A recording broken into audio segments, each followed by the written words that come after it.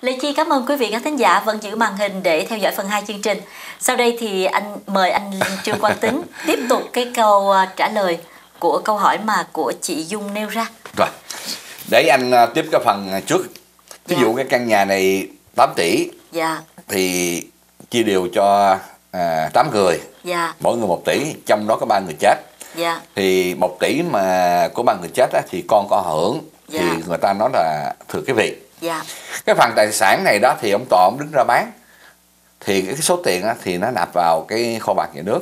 Dạ. nhưng mà thông qua là đội thi hành án. À, thí dụ như anh ở Mỹ anh được 1 tỷ. Ừ. Anh về bển anh nhận phần của anh thì anh đến đâu? Thì anh đến thi hành án. Ừ, thi hành án có nhiệm vụ rút tiền ra 1 tỷ họ sẽ đặt những hồ sơ mình lấy tiền ngày đó.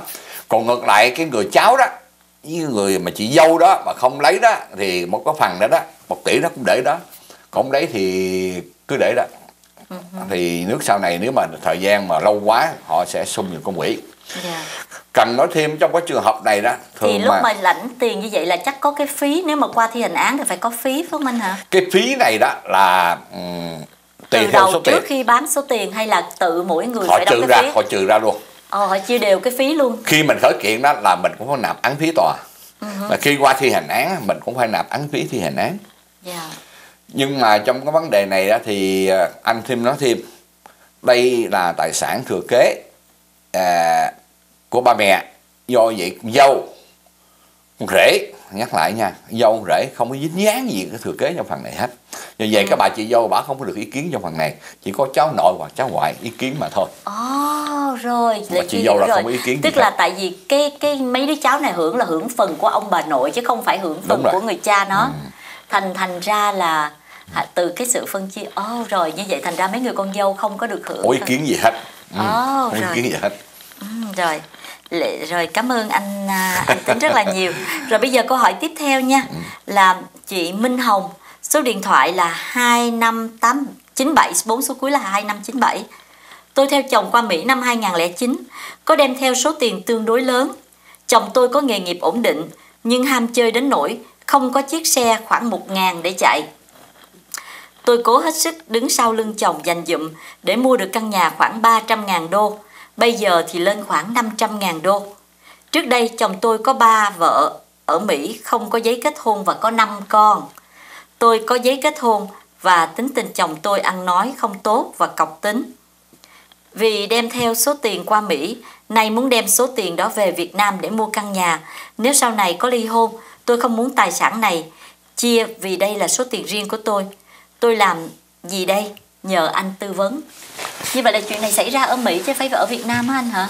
ở Mỹ nhưng mà xảy ra ở Việt Nam tại vì họ muốn đem tiền về Việt Nam hả? nó có hai vấn đề nó nhọc nhằn nha thứ nhất nó dính dáng với pháp luật Mỹ tại vì trước khi kết hôn với anh này đó kết hôn anh này chị này đem một số tiền cũng hơi lớn vào đây uh-huh.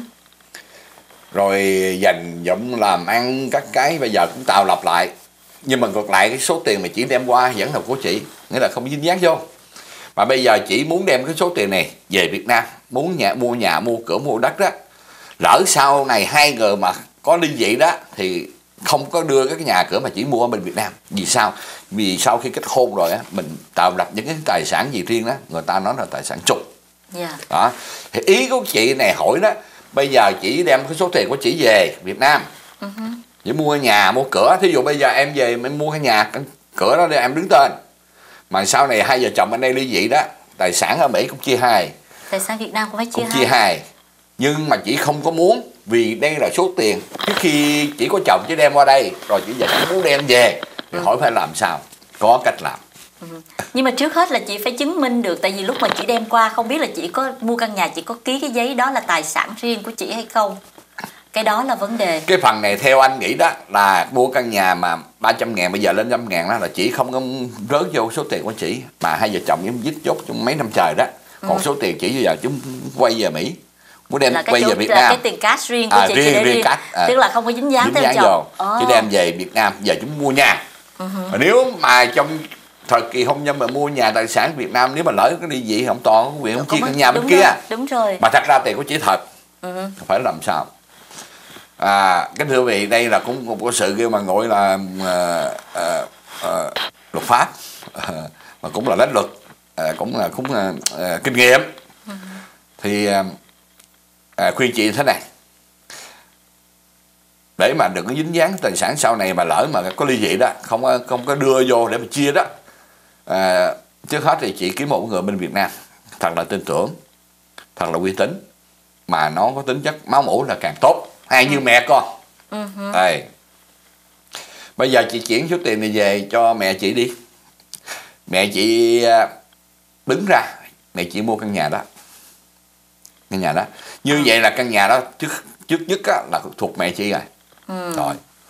Bước thứ hai đó sau này á, mẹ chị sang tên lại cho chị. Mà sang tên đây là hợp đồng tặng cho trong thời kỳ hôn nhân. Em lưu ý nha.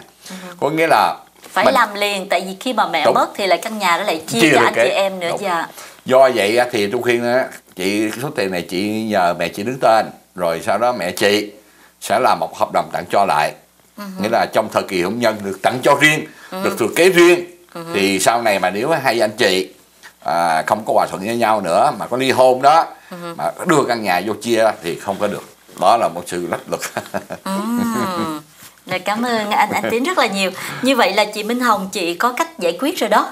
Thì à, nhưng mà vấn đề là chị à, phải à, làm càng sớm càng tốt anh hả? Tại số tiền mà để bên đây ờ, một lúc nào đó lâu quá rồi ờ, thí dụ như chuyện vợ chồng nhiều lúc cái tài sản khi người ta dòm vô thì, thì thấy tài tài sản đó tài sản chung của hai vợ chồng Đúng. chứ còn à, làm sao chỉ đưa món số tiền đó về mà không dính dáng tới người chồng ở đây nhưng mà chắc chắn theo anh nghĩ chắc ờ, số tiền chỉ đem qua chỉ đem về chắc chồng không biết em biết là nó còn là chuyện khác chắc Dạ. chắn không biết Dạ. Hay. Rồi câu hỏi tiếp theo là của anh Biên. Số điện thoại 4 số cuối là 5921. Hợp đồng ủy quyền có phải cần công chứng ký rồi đem lên Sacramento ký, sau đó chuyển lên Tổng lãnh sự Việt Nam mới có giá trị. Đúng không? nó cũng đúng mà nó cũng sai thì ừ, quan tính thường nói nếu mà chúng ta mà có tiền bạc nhiều thì ít thời gian và là ngược lại chúng ta có thời gian thì ít tiền bạc nó có hai cách làm thường thường á mà thông qua tổng lãnh sự người ta nói là hợp thức hóa lãnh sự Dạ. nếu mà mình không có thời gian mà mình có tiền mình lợi các dịch vụ á dịch vụ mình nhờ họ notary á notary tới ký vô.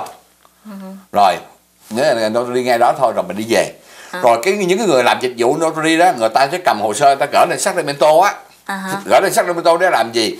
Thì ông đồng lý trên Sacramento ta nói cái người ký nè notary á là người của của họ. Ừ, tức là chỉ chữ cái phần À. notary đó có giá À, trị, cái phần à, à, đó có giá trị. của họ. Rồi bên Sacramento á trên thủ phủ á, Cali đó người ta mới gửi về cái người dịch vụ lại rồi dịch vụ này nè cũng gửi lên sân phanh.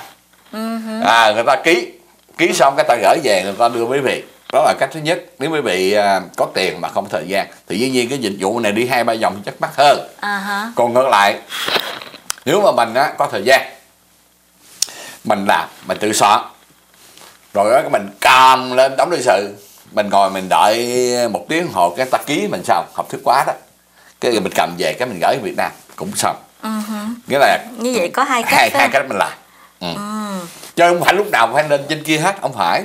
Mà là mình làm hết luôn. Ờ, nếu mà đi thẳng lên trển thì gọi là mình không cần phải gửi lên Sacramento. không notary không Sacramento. Tại mình đi trực tiếp rồi cái mặt mình trên tổng lý sự người ta thấy rồi. Ừ. Rồi, à, còn một câu hỏi nữa. À, ba tôi có căn nhà ở quận 5, có giấy hồng, ghi một trệt một lầu. Sau đó ba tôi cất thêm một lầu nữa và một sân thượng nhưng mà không xin phép. Nay ba tôi mất, ba anh em chúng tôi muốn bán căn nhà này. Nhưng người mua vào địa phương nói phải làm lại giấy tờ rồi mới mua và ký. Hỏi vậy có đúng hay không? đúng chính xác ở Việt Nam thì quý vị biết rồi nhiều khi mình có căn nhà này, này Mình một xây. một lầu À. cái là mình xây lên mình không có xin phép bây giờ lỡ mà ông ờ, ba mất rồi Ừ. ba mất rồi thì nó sẽ rất là khó khăn do vậy trước hết muốn làm á thì nó thứ nhất là phải kê khai di sản. Ừ là tài sản của người cha để lại. Xong rồi mình đọc cho hữu rồi đó mình làm hợp thức quá cái là hoàn công. Nghĩa là trước đây cái một trăm một lầu bây giờ là một trăm hai lầu. Hoàn công xong rồi ra một cái sổ hồng rồi đó mình mới quyền mới bán được. Ừm, rất là hay. À, cảm ơn anh Tính rất nhiều. Cái ừm, gọi là câu trả lời rất là gọi là thẳng vào vấn đề thẳng luôn À, thành ra là chị ờ, Bích Thúy nếu mà có cái, thắc mắc nào có thể liên lạc trực tiếp Đúng với rồi. anh Trương Quang Tính Dạ. để mà hỏi rõ hơn. Còn bây giờ thì chúng ta nói lời chia tay. Cảm ơn anh Trương Quang Tính rất nhiều. À, anh Tính có lời chia tay với quý vị cũng như lời chúc đầu năm. À, trước hết thì chúc quý vị năm 2016 à, được giàu giàu sức khỏe, làm ăn phát tài và chương trình này được sự tài trợ của Sunlight New Supply à, kế bên chợ Lê Anh 2 đường Camberto ở Trúc Quay à, rất mong quý vị ủng hộ. Thứ hai là Khang Taxi nghĩa là chuyên môn đưa nước sân bay hành hương đi du lịch. Anh Khang vừa là người bạn vừa người anh và giá rất là phải chăng? Quý vị cầm điện thoại lên nếu đi đâu gọi anh Khang. Thứ ba là anh Viên Auto Body chuyên môn làm đồng xe. Nếu quý vị xe quý vị có va quẹt gì đó là anh Nguyên giá rất là phải chăng? Và làm y như mới lại.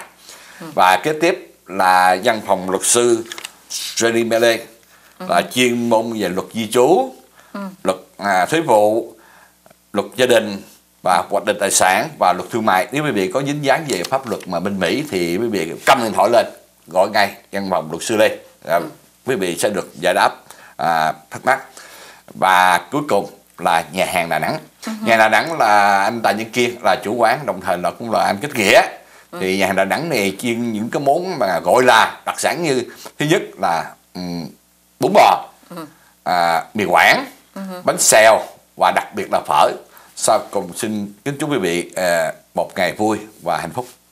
Cảm ơn.